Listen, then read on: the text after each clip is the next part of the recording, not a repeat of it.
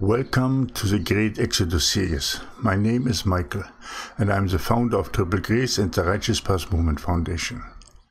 This is God's plan of rescue for you to go and use the path to Mount Zion, His dwelling place, to lay your feet at His, to lay your heart at His feet, so that you can be raptured into paradise and be with the Father and our Lord and Savior Jesus Christ forever and ever. Let my people go. I'm shouting this to Satan and all the enemy forces. Let my people go. We are going out of the world and out of Babylon onto the new path. And we will reach the glorious Mount of Zion at the sixth seal. And we will be there seeing the throne of glory of the Father and we will have access to the holy place. And we will be with him in our heavenly mansions. Did I say mansions? Do you remember any Bible verses that talks about mansions? What about John 14:2, when it says, "In my Father's house are many mansions. If it were not so, I would not have told you. So I will go there and prepare a place for you." Now the question is, where is the Father's house? Many people think that it's the third heaven, but this is not possible due to many reasons. First, the, the, the, escape of the bride will take place. What is the first rapture? It's not really a rapture, it's an escape. And they will go to the third heaven. So the bride will go to the third heaven. But the third heaven is New Jerusalem. And we have a clear description of New Jerusalem and how it looks like in the book of Revelation. And there we do not find mansions and houses and plots and whatever. So there it should not be there that these are the mansions are in this place. So then where can be that where can be that place where these mansions are? So it comes to mind Mount Zion, of course. And to further help you with the understanding, I will explain you a vision I received from the Lord a few years back. In that vision, I was in my great mansion and I had a very beautiful plot that was so perfect green grass, lush bushes, nice trees, everything was perfect. And I thought, oh, what a wonderful place this is. And when I was going to the end of the plot, I could look down a mighty mountain slope. So that means my mansion was more to the top of the mountain. So I was looking down, and on the slope of the mountain, I saw thousands, if not millions, of mansions, and all lit in beautiful light. And then I knew this is the mountain of the Lord, and they are all our mansions. And then my vision ended. This vision clearly describes that the, that the mentions from John 14:2 are at Mount Zion. They're not in New Jerusalem, but they're on Mount Zion. They're two different places. Mount Zion will be the mountain carved not by human hand that will come down onto the earth to smash the feet of the statue of Nebuchadnezzar in Daniel.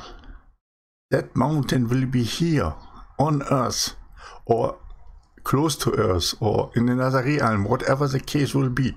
But it will be here. It will not be the third heaven. So the mentions where people say, oh, the mentions are in the third heaven and, and what? They are not. They will be on Mount Zion. There you will receive your beautiful mansion.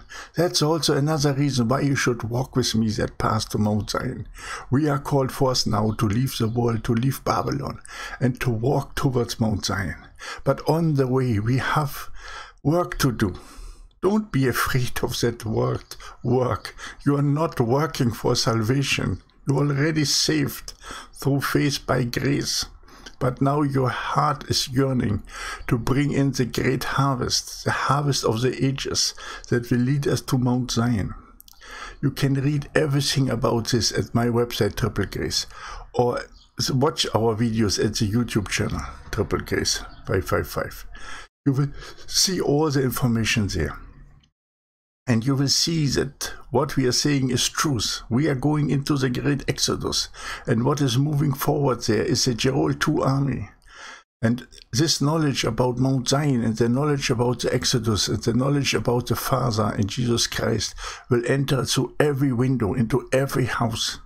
And it will make a clear division there. As Jesus said, I have not come to bring peace, but to bring strife between in your families. And that will happen with our messages we will give out. People will say, what is not right? It's not correct. We only have to wait for the second coming. No, we have to walk and we have to be a harvest workers. The fields are white and ripe for the harvest, but the workers are few. So become a harvest workers and join me and bring in the people towards Mount Zion. We will gather them to our societies of the rose from all the nations. And when the time has come of the sixth seal, then the mighty angels will come and collect us from the four corners of the earth and bring us to the base of Mount Zion. And there a great multitude clothed in white will be standing and will have access to the holy place. And the Father's throne will be on top of that mountain the throne of glory, carried by the four cherubims. It will be on the top of that mountain, in a similar pattern as it was on Sinai Mount Horeb. Listen to me, people. Come out of this world, come out of Babylon, and walk with me the path to Mount Zion. If you need information about what to do next, go to my website. Everything is there. Or send me your questions to triplegrace55 at gmail.com be part of the societies of the rose or establish a society of the rose in your neighborhood and do a daily sacrifice of love in the name of the Father. Not in your name, but in the name of the Father, in the name of Yahweh. Oh, people, I love you all so dearly. And I can only open this door for you and can only explain to you what we should do, what the Father and the Holy Spirit has given me to tell you. You have to walk through that door and you have to go onto that narrow path. And then you will be guided by the Holy Spirit on your path. I can help you in many ways, but I cannot walk for you. You have to walk by yourself. And you have to enter through that open door. Please step through that door onto the narrow path, the middle path. Do not walk on the right in poverty or on the left in prosperity. Walk the middle path. This is the way to glory. I thank you that you are here with me for this series, and I hope that you understand my passion for it, and I hope that you hear from my voice that these are not my words and my own understanding, but that they are given by the Holy Spirit please have a look at Triple Grace. It's a website. Join it, be a member there.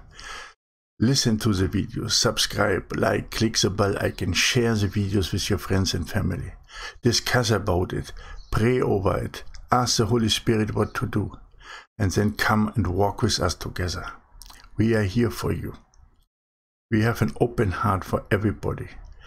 And even if you're full of sin, then come as you are you will be cleaned on the way, as it is written in the book of Revelation. The people will be cleaned and have white clothes, because their clothes are made white through the blood of the Lamb. So we will be cleaned on our way. We do not have to be perfect to, to walk this path right now. I gather you from all nations, and I will gather you from any place that you're coming from. If you have problems, addiction, whatever, it really doesn't matter. The love of the Father is for all of you. So please join me. Join me and follow me on that path. Thank you that you're here with me. Thank you that you're listening to my words.